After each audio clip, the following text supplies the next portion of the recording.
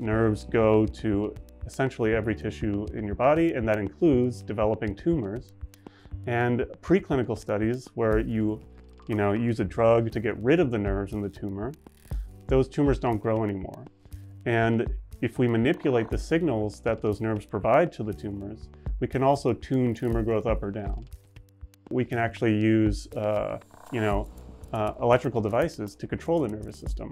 And so that's what this whole field of bioelectronic medicine is trying to do, is to uh, basically strap a little electrode to one or more nerves in your, in your body. And then when there's aberrant signaling going on, we can either stop that or we can elicit good signaling from those nerves. It's at like the startup Silicon Valley level right now. Um, but those things will grow very quickly as long as the technology keeps improving. And then of course the whole regulatory problems that go, go along with, you know, selectively electrocuting certain parts of the body, you know, um, which is already something we do, you know, with deep brain stimulation devices and pacemakers and these sorts of things.